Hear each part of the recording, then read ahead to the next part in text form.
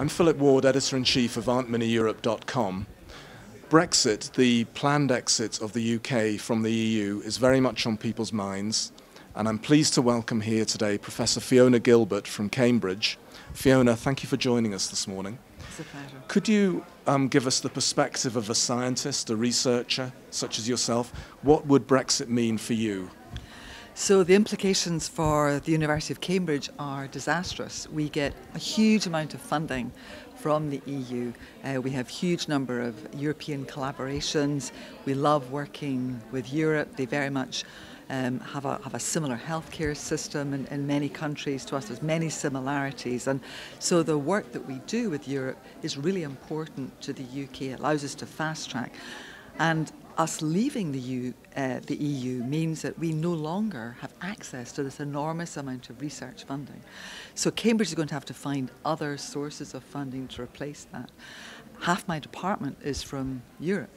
So what we're very keen to see is easy um, immigration um, and, and migration back and forth um, to and from the UK because we want these excellent scientists from Europe to come and work with us. We want to be able to allow UK people to go and work in the wonderful European centres. Is, there, so is there anything you can do in terms of lobbying, in terms of, well, of, of, action? Is there anything, anything perhaps some of our, our readers here today, our oh, viewers, could do? Absolutely. I mean, we would like the, the, the, UK government to negotiate very easy movement of the scientists. Brazil has a brilliant system where they have science without borders, and I think that's a fantastic policy which would allow our scientists to move freely um, um, into the European countries and likewise European scientists, doctors could move freely into the UK. I think that would be a wonderful positive thing to come out of Brexit. So you're keeping your fingers crossed that this becomes a reality? Oh, I suppose I'm always an optimist, but I, th- I think we have to we have to take the positive as- aspects of, of, of Brexit. I think we have to ensure that our European partners don't think that we're rejecting them. It's actually we still want to work with them even more. Mm-hmm. Okay. Now, on Saturday, you're giving the honorary lecture at ECR about breast cancer screening. Yeah. Um, you were involved this morning in the opening press conference. Could you explain a little bit about the controversies? And the, and, the, and the issues in breast cancer screening at the moment? Oh, absolutely. I mean, I think there's good evidence that uh, mammography screening does save lives. Um, the controversy is that you know we spend an enormous amount of money, we invite huge numbers of women, um, and probably about 20% of the cancers that we diagnose are this overdiagnosis, and by that I mean cancers that women they would never have known they had a cancer had they not come for a mm-hmm. screening test. And I think we have to be very thoughtful as to how we offer screening. Another big problem we have is breast density. Mm. And the Americans have taken the initiative here in about half the states in America. They say we must tell women if they've got very dense mm. breasts. And the reason that they believe this is because about 10% of women in our screening program have extremely dense breast mm-hmm. tissue. And it means the mammogram is only slightly better than tossing a coin. Mm-hmm. It's only 60% sensitive. Mm-hmm. So, in that 10% of the population, we should be offering maybe an additional test like whole breast ultrasound or contrast enhanced mammography or abbreviated MRI, but something in addition to straightforward mammograms Excellent. where we know it, it's a test not yeah. enough. I think one of the aspects that you're encouraging yourself is quality, an emphasis on quality and selecting patients better for screening. How, could you explain a little about that, about Absolutely. how quality can so play I, a role? So I think one of the really positive aspects of the population screening program that was introduced in the UK was this emphasis on quality. We wanted to have the best equipment. We wanted to make sure that the examinations the radiographers were taking were as good as they possibly could be. And we wanted to make sure that the radiologists and radiographers who were reading the examinations um, were performing to you know a really good standard. So this emphasis on on you know quality, quality, quality was, was, was absolutely there and has always been there.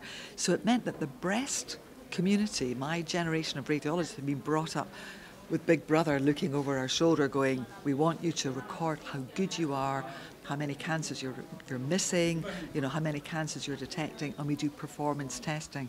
And I think that's one of the great lessons that can be then transferred into other areas of our practice. You know, it, it applies to all different subspecialties that we should be keeping a very close eye on quality. Excellent. So I think that's a, okay. a really now, important um, area. Tomosynthesis is the exciting buzzword, if you like, in breast breast imaging at the moment. Yeah. Are you are you yourself very supportive of tomosynthesis as yeah, a we, we, we did a big trial uh, which we published a couple of years ago in on tomosynthesis, and the, the, the, two big observational studies show that there was an improvement of 30% of invasive cancer detection, which are the ones we want to be finding, and that we also reduced our recall rates, mm-hmm. which was phenomenal. We stopped calling back women unnecessarily. So tomosynthesis looks really, really promising. One of the question marks over tomosynthesis is what type of cancers what, what, so tomosynthesis find these additional cancers, and are these important cancers? Are these cancers that women would never have known about, or are these the cancers that we're actually missing? Mm-hmm. And I think the really important thing about tomosynthesis is to look at the type of cancers that are being found, but also to look and see if the interval cancers, the ones that appear between the screens, whether we're getting a reduction in those numbers. And I think if we can show that from the big randomized trials that are now taking place, one in the UK, Prospects, one in America, TMIST, um, also Norway and Italy, if these trials show that we drop our miss rate, our interval cancer rate, then I think we should definitely be adopting That's the technology. Positive news, excellent. How does this affect costs? Because it, I think it's very much on people's minds that, that a new technique, uh, yeah. something extra, something maybe more more time intensive. In, indeed, um, I mean, if we're, we're adding an additional techniques or, or, or better techniques, which often are more expensive, then we need to be much more thoughtful about who we're inviting. And it looks as though from this big investment we've had in, in genomics, that we can begin to identify using SNPs, you know, small fragments of, of, of the gene, we can identify those women who are at very high risk and those women who are at very low risk. And it may be that the women who are at very low risk, we should be thinking hard about how often we should be screening them. Now, the UK's the, got the biggest interval. We screen every three years.